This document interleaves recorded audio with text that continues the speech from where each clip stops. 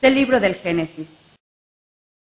En aquel tiempo, Dios le puso una prueba a Abraham y le dijo, Abraham, Abraham. Él respondió, aquí estoy. Y Dios le dijo, toma a tu hijo único Isaac, a quien tanto amas. Vete a la región de Moria y ofrécemelo en sacrificio en el monte que yo te indicaré. Cuando llegaron al sitio que Dios le había señalado, Abraham levantó un altar y acomodó la leña. Luego ató a su hijo Isaac, lo puso sobre el altar, encima de la leña, y tomó el cuchillo para degollarlo. Pero el ángel del Señor lo llamó desde el cielo y le dijo, Abraham, Abraham. Él contestó, aquí estoy. El ángel le dijo, no descargues la mano contra tu hijo ni le hagas daño. Ya veo que temes a Dios porque no le has negado a tu hijo único. Abraham levantó los ojos y vio un carnero, enredado por los cuernos en la maleza.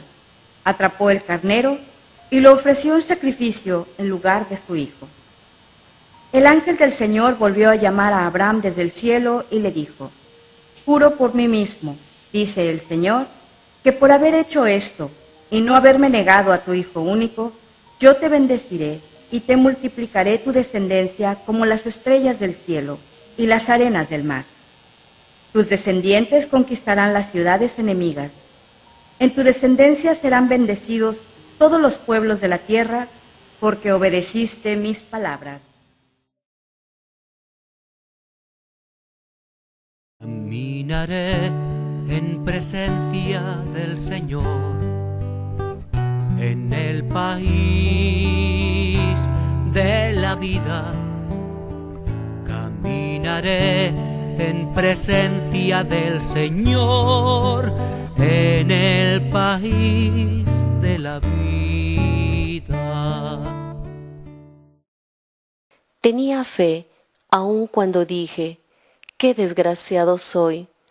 Mucho le cuesta al Señor la muerte de sus fieles. Caminaré en presencia del Señor en el país de la vida. Caminaré en presencia del Señor en el país de la vida. Señor, yo soy tu siervo, siervo tuyo, hijo de tu esclava. Rompiste mis cadenas te ofreceré un sacrificio de alabanza, invocando tu nombre, Señor. Caminaré en presencia del Señor, en el país de la vida. Caminaré en presencia del Señor, en el país de la vida. Cumpliré al Señor mis votos en presencia de todo el pueblo, en el atrio de la casa del Señor, en medio de ti, Jerusalén. Caminaré en presencia del Señor, en el país de la vida.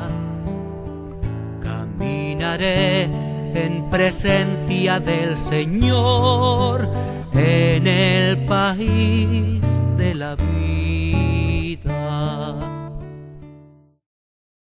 Lectura de la carta del apóstol San Pablo a los romanos. Hermanos, si Dios está a nuestro favor, ¿quién estará en contra nuestra?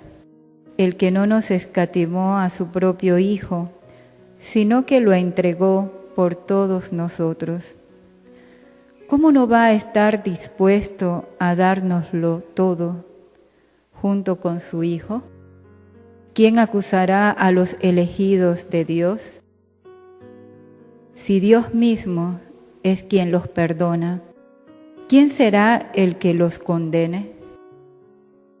¿Acaso Jesucristo, que murió, resucitó y está a la derecha de Dios para interceder por nosotros?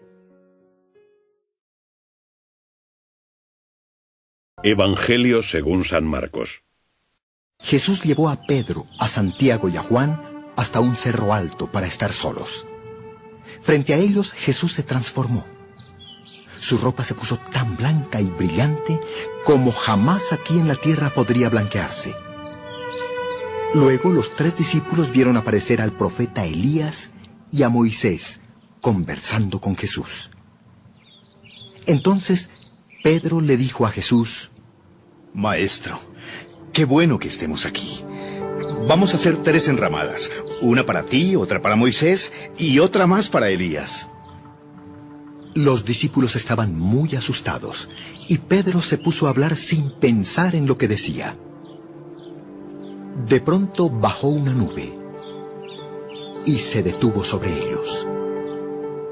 Desde la nube se oyó una voz que decía, Este es mi hijo, yo lo amo mucho, ustedes deben obedecerlo. Enseguida miraron a su alrededor y ya no había nadie con ellos. Solo estaba Jesús. Mientras bajaban del cerro, Jesús les ordenó que no le contaran a nadie lo que habían visto hasta que Él, el Hijo del Hombre, resucitara. Pedro, Santiago y Juan guardaron el secreto. Pero se preguntaban qué significaba aquello de resucitar.